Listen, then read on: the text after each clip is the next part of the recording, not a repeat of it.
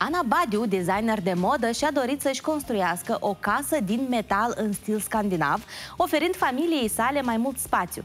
Însă găsirea unei echipe profesioniste pentru acest proiect a fost o provocare. În cele din urmă, după o lungă căutare, a fost nevoită să preia inițiativa și să înceapă singură construcția care a durat două luni casa. Oferă multiple avantaje, iar costurile de construcție, zice ea, au fost rezonabile. Cum s-a întâmplat totul, aflăm chiar acum de la Ana Badiu, invitatul nostru de astăzi. Bun venit acasă! Bine v-am găsit! Ideea asta cu casa din metal în stil scandinav, bănuiesc că e preluată de undeva, nu? Uh, pentru moldovenii cam spărietor să da. aud uh, așa stil de casă. Totuși noi am uh, înainte de a o proiecta, vrem să văd undeva, să, să să ating, practic, exact. dar nu era posibil nicăieri. Asta și bine, pentru că uh, am să fiu eu aceea care o să arăt această casă. Uh, deci este o, o construcție pe bază de metal, uh, în mijloc are uh, vată minerală, deci uh, tablă de lemn, Așa. în exterior și în interior sunt uh, niște uh, scheme acolo care trebuie mai bine să le vezi uh -huh. de mhm. proiectare. Uh, au fost, uh, deci, un, o persoană care s-a angajat să-mi construiască această casă. Deci proiectul a fost uh, de un an de zile gândit. Așa. A fost un proiect uh, cu spațiu, adică nu atât de mare spațiu, cât uh, comod, util, care fiecare. Cât, deci, deci cât, are, cât, cât are 69 de metri spațiu locativ uh -huh. și mhm. terasa 30 de metri. Deci aș zice eu, un 69 ar fi exact cum ar veni un apartament, da, da ca și da. spațiu. Și în este suficient. am trăit. Este suficient? Foarte, foarte. Pentru că acum toată lumea merge, dacă are casa la curte, peste 100 de metri pătrați.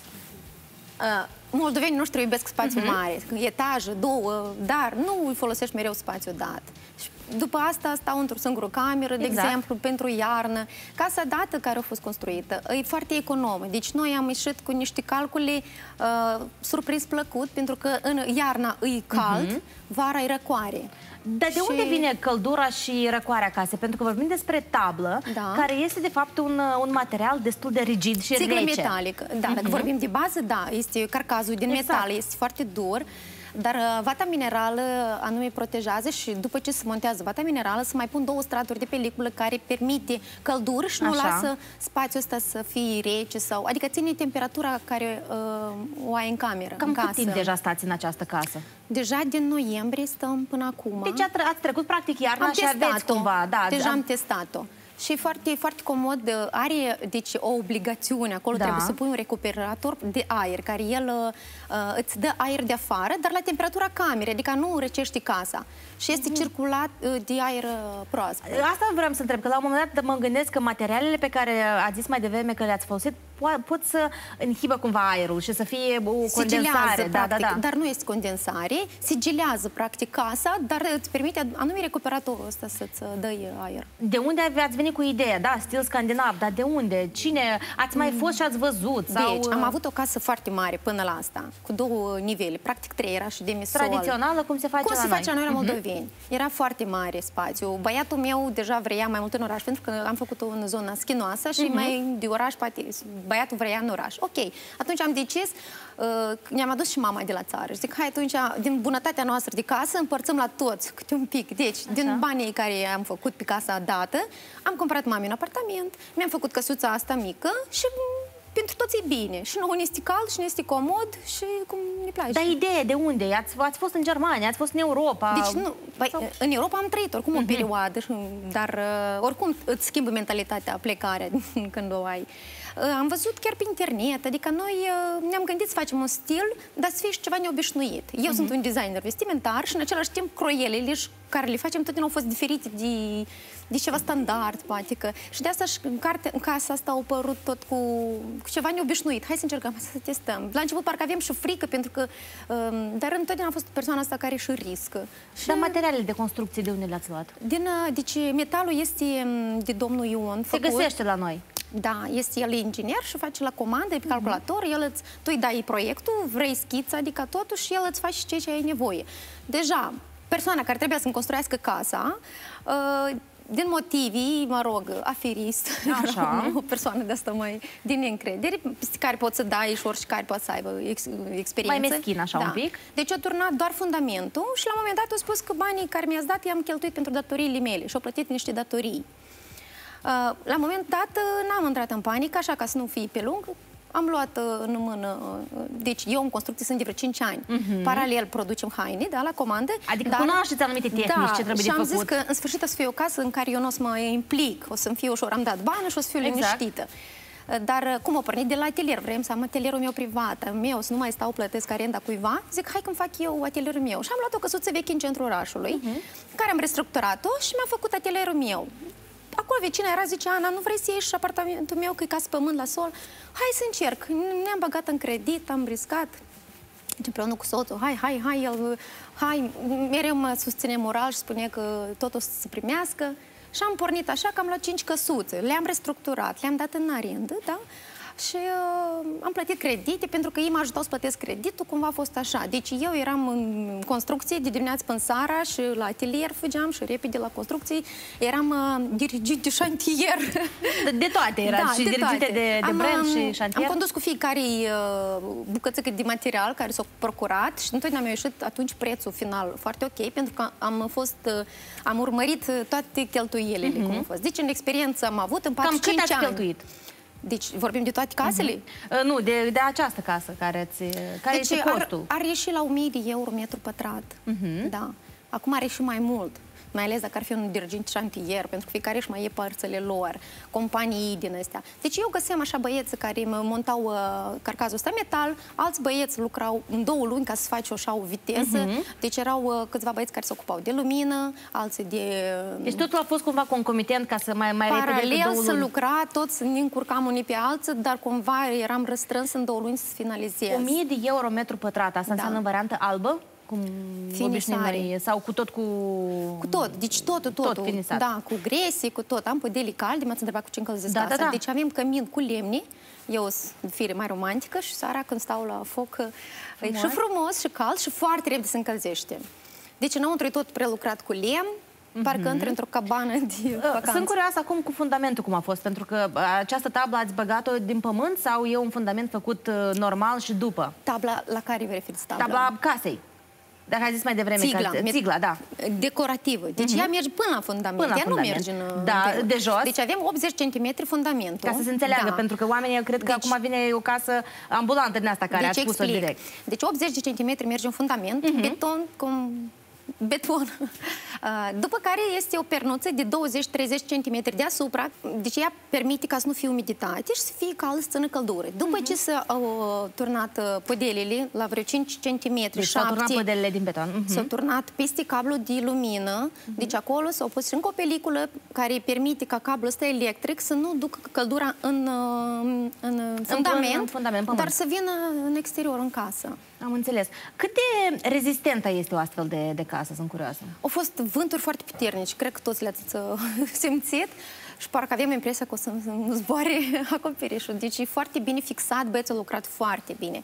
Partea de jos, care m-ați întrebat, cum vine carcazul ăsta, da. el este montat, anume, să pune o bandă elastică foarte groasă, cred că de un centimetru, dar grea, care este în contact cu fundamentul Așa. și pe ea, anume, 10 cm uh -huh. are grosimea metalului și anume 10 cm este uh, de jur împrejurul casei, s-a montat uh, metalul ăsta cu niște E clar, cu fel de fel metalice. de... Bun, deci, da, a bătut vântul noiembrie, în decembrie. Da. Ați simțit că se bate vântul? Că uneori stai în casă de, de cochilet și auzi cum bate auzi vântul. Auzi chiar mai ales clădirile astea noi, unde sunt, auzi vecinii de sus, la când cobor, când se scoală, când se culcă. Deci la noi, uh, foarte bine, vata asta minerală și peliculele astea două care păstrează izolarea, deci foarte bine, nu, nu auzi, adică ce deci faci aveți și izolare fonică din cauza Corect, la... două tipuri, uh -huh. da, de două tipuri. Am înțeles. Cum a fost cu electricitatea, cu firele? Toate sau... pe jos, ca să fie frumos, totul ascuns, uh mhm. -huh. băgat în uh, fundația asta de 5 cm care v-am spus, da? Ușoară, deci un, un fon așa, cât să acoperi practic cablurile toate, ascunsă. Și apă, și lumină, totul e frumos. Dar beci aveți? Uh, sunt gospodină de firea mea, îmi place să gătesc, uh, dar mi-am dat seama că uh, de parte de zahăr, de toate Așa. conservele și atunci am decis că o în casa veche am avut beci și era mereu plin. Dar acum nu. Nu îmi fac uh -huh. un congelator, am un congelator mare și îmi pun toate fructele înghețate și iarna doar cu sănătos trăim, fără beciuri. Beciuri sunt foarte mult conservante. Când v-ați proiectat această casă, de ce ați ținut, ați ținut cont în primul rând? Să aveți un dormitor larg și o baie largă? Să-mi fie cald. Sau să, așa? Să-mi fie cald. Vreau să merg dezbrăcat în casă, să am totdeauna căldură și nu pături și Aveți, apropo, aveți, ați spus de cămin, dar aer condiționat v-ați pus? Mi-am pus. Nu l-am testat încă, cred mm -hmm. că mhm. vara o să-l testez, da. Deci, chiar și același recuperator, el este calculat pentru oricare metraj în casă. Și același condiționer, ca mi-am luat, da, tot 24 bătău, uh -huh. care mi-ajung anume pentru spațiu dat. Noi trăim foarte mult la terasă, și în uh, living. Uh -huh. Living are 24 de metri, deci e lărgut. Da. Camerele sunt mai mici, cât 7 metri, dar toți îmi spuneau, chiar și mama mea spunea că e foarte mic, foarte mic. Dar când s-o finisat și toți au intrat în casă, au zis că pe poză e una, în realitate e alta. E foarte comodă. Uh, 4 la 8 metru 40, 3 camere. Uh -huh. Baia, la fel, avem uh, aparte garderoba cu haine, care se numea iarăși uh, spațiu din camera mea. Am vrut să întreb și asta. Și toți sunt izolați, tot avem camerele lor personale. Ah, deci, tot, și da. avem garderoba aparte și living-ul foarte lărguț și terasa foarte mare, 30 de metri. Deci Vizualizează și uh, telespectatorii acum cămara, de da, de Baraua. Da, da, da. Așa, avem o de Bara aici, deci... e destul de suficient și uh, un spațiu destul de... Deci nu avem un spațiu irosit și baia e destul de largă, adică mi-am făcut cabină pentru că în cad nu mai ajungeam niciodată, noi dacă repede, repede, uh -huh. și mi-am făcut util să-mi fie totul util. Ceea ce în partea cealaltă nu foloseam, practic aici au fost Acum, după ce o trăiți în ea, da. după ce ați văzut-o și înțelegeți tot, ar mai fi ceva care... Să o completez? Da. Da. Ce? Acum grădina, vedeți că în exterior ah, nu prea okay. Nu, dar vorbe, vorbesc de interior din ceva interior... plus, nu știu, încă o debara pentru vase sau încă ceva uh, mi-ar mai Deci tot trebui... atât de bine gândit că nu vrem nimic să completăm. Proiectul ăsta uh, mai mult a fost așa... Uh, soțul l-a analizat mai mult, un an uh -huh. de mhm. zile, el să gânde cum să fie, că, să fie comod. Uh, și eu am dat acord, adică am zis că da, asta e camera, deci eu cămăruț tot. Uh, eu aș vrea să vorbim un pic și despre uh, siguranță, pentru că observăm lemn, observăm foarte uh mhm. -huh. multe, uh, multe materiale care ar putea să, să, să fie... De exact, deci de vata minerală nu permite asta. Uh mhm. -huh. Deci eu am avut cândva o, o mansardă și acolo, dacă țineți minte, la Botanica cândva o ars Așa. mansardele, deci eu după asta mi-am făcut mansarda um, tot cu min, uh, vat de da. asta minerală și a fost și incendiu la mine în casă din cauza unui hoțoman care Așa. a venit și, uh, mă rog, deci a fost și așa experiență și anume, da, fapt că a fost vata minerală, nu mi-a ars uh, practic acoperișul nimic. Nimic, doar ce a fost în interior o ars. Bun, deci vata minerală e foarte ok. Dacă i-am întregat pe cei care ne urmăresc, de unde poți să afli mai multe informații despre o astfel de construcție din metal? Mai multe informații. Da. Uh, cel mai bine când vii și vezi. Da? Deci, pentru practic, că... aveți casa vine... deschisă, da? Ușile da, casei sunt deschise da. pentru cei care foarte vor să... mulți prieteni vin, întotdeauna se simt foarte bine, nici nu vor să pleci pentru că e comod și toți care mă văd mă știu și poate să uh, adeverească faptul.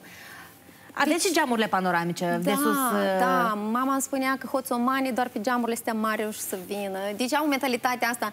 Eu am vrut ceva să fie modern, luminos. Casa mea trebuie să fie luminoasă, primitoare de oaspeți și foarte comodă.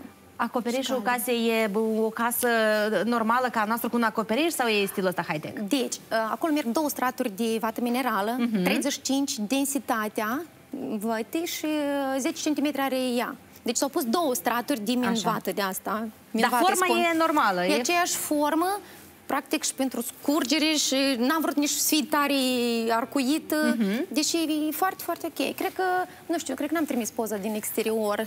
Nu, de-aia v-am întrebat, dar... dar dacă tot ne-ați lansat această invitație că ușile sunt, sunt deschise, deschise da. cu siguranță o să vă facem da. o da, vizită, sigur, să vedem, să palpăm, să punem mâna, pentru că sunt, da. ne-ați făcut curioși. E foarte, foarte curios pentru mai mulți. Toți când merg să opresc în fața noastră. Deci am la bucătăria mea un geam foarte mare. Asta l-am văzut doar în filme și îmi doream totdeauna așa geam. Și eu văd acolo avem panoramă, copaci, practic e natură și eu uh, ved când mă uit pe geam spăl un vas, toți opresc și le dau la toți salut. E off de record, asta, o să află adresa, așa că da. o, o, să o ne întrebați pe noi pe pagina emisiunii noastre, o să dăm și adresa dacă vă interesează. Vă mulțumesc foarte mult pentru discuție, uh, să dea Dumnezeu să trăiți cât mai mulți ani și să, să vă fie de, de, de, de, de rost această casă uh, și să vă aducă doar, uh, să aveți acolo doar clipe frumoase. Mulțumesc frumos!